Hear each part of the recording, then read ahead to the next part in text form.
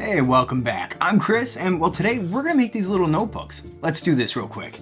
Now, I enjoy using notebooks like crazy. Usually have a pocket shirt that they fit into, but sometimes buying these field notebooks, they're a little bit expensive, so why not make your own? Now, I'm just using poster board from my local dollar store. You can use whatever you want and cut it to whatever dimensions you want.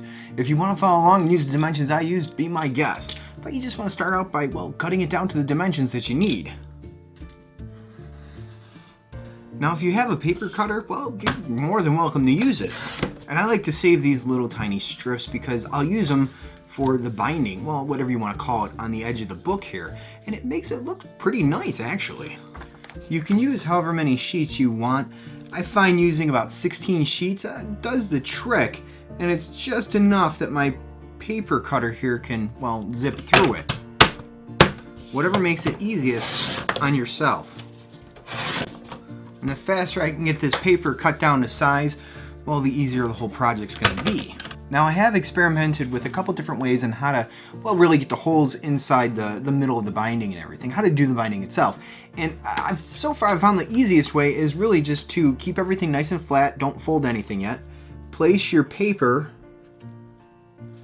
right on there, exactly where you want it, and put one of these little binder clips right on it just to kind of keep everything held together for you. And then go ahead and mark the center and then you can kind of well figure out where you want to put the holes for the binding. Now I definitely recommend using some sort of awl. Uh, use it on a surface that's not gonna get damaged maybe even put a magazine underneath it. But this is definitely the easiest way to punch a hole through all 16 sheets of paper plus the poster board don't use a thumbtack or anything like that it's not quite sharp enough I mean you can in a pinch, but I need to make a bunch of these. So using the correct tool might be more beneficial. Go ahead and thread your needle using, well, a needle threader because it's easier and makes more sense to do so. And it's up to you how you really want to stitch this together. I do not really know how to sew or stitch or anything like that. I'm just going with whatever makes the most sense to me.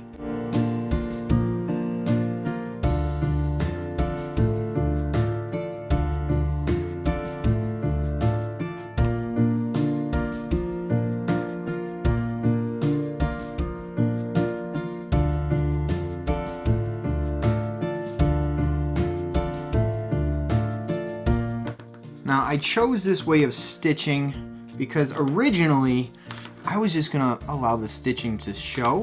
I wasn't gonna finish it up in any way, shape, or form.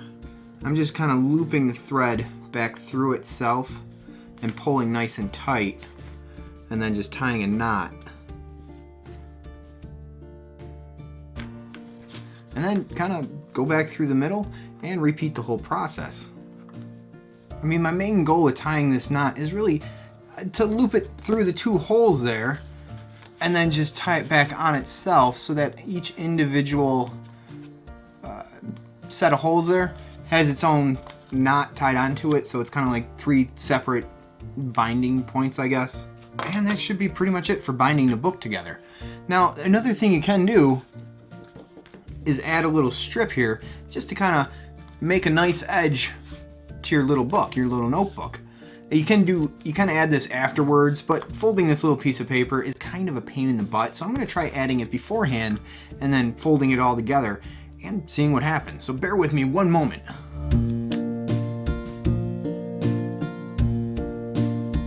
While we're waiting for that side to glue, you can go ahead and take your pages and kind of fold your pages together. And it's a good idea to take it and fold it backwards. It's a little easier this way. Give it a little bend this way. Just to kind of break it in. And then fold it back the other way.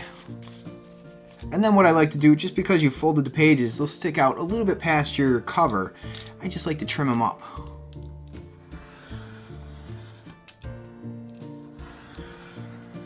And just like that, you're done making your little field notebook. And you can go ahead and add any designs on the front that you want. You could even use different paper, different cardstock, whatever you want to use or how you want to make this. It's pretty nice and it looks, well, relatively cool. I'm pretty satisfied with it. Now, like I said, I'm making a bunch of these. I'm making about 20 or so for my nieces and nephews, I thought they might like these. I like using notebooks like crazy, and well, you know what? My son does too, so I figured my nieces and nephews, if they got a little pack of these notebooks, it might be pretty fun for them. So that's what I'm gonna go ahead and do. I'm gonna make a bunch of them. So I thank you for watching, and I hope you enjoyed this video. And if you did and you found it helpful in making one of these little notebooks, be my guest and subscribe and definitely give me a thumbs up. Leave a comment if you like. You can go ahead and check out the other video that uh, gives you a little bit different uh, showing of how to make these notebooks. Not so much an explanation, but it's a fun video to watch. And you know what? I'll see you on the next one or something like that. And I definitely recommend using some sort of an owl. Don't use a thumbtack. Is it owl or all?